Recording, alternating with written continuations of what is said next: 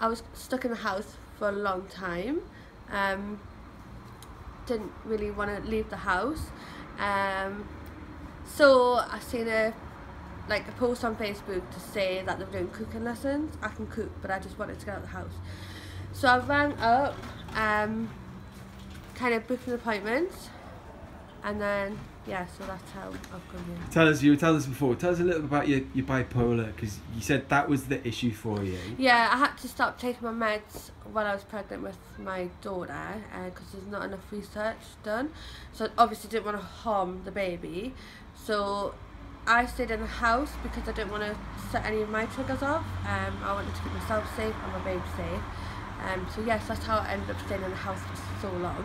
And then after I'd had Jasmine, um, I kind of got in a rut where I didn't want to leave the house, even though I was back on my meds.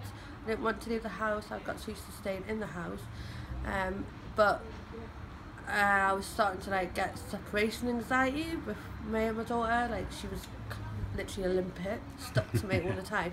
So that's why I thought, right, no, I need to you know grow up, get a get a grip, leave the house. So this was here and an opportunity, and like you said, you could cook already, but they were offering a cooking course. But how how did that work? How did you get yourself here?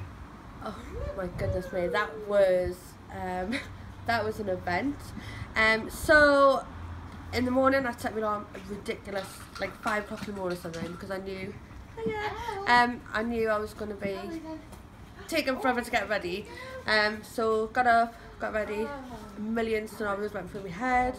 You know, what if Jasmine dies? What if I die? Like all these crazy irrational thoughts. Um, finally left the house, got to see the door and thought, I can't go in. Done a few laps around the building, quite a few. Um, got to the door, um, just pulled myself together, went in. And Shree was like, "Are you Lindsey?" I wanted to say no. I've just got lost. Like I wanted to run away, but I thought no. I'll have to say I'm Lindsey. I was like, "Yeah, I'm Lindsey." Um, and then from there, I kind of just got arms around us, chucked in, and yeah, that's how I got here. So what you said it, it, it's been about getting you back in amongst it, teaching you to, to almost like live a normal life again. Yeah, and I would not have. If I'd stayed at home, I would have developed even more complications, more issues on top of what I've already got. Um, so if it wasn't for this place, then yeah, I would, I would be stuck in the house, walking in a corner. What would be your message to anyone who might might be in the situation you were? Um, give them a call. Give Cedarwood a call. Um, be brave. Be strong. There is so many people out there that are the same as us. Yes, we're not normal. We are crazy.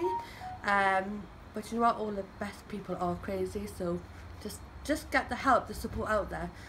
Give me a call.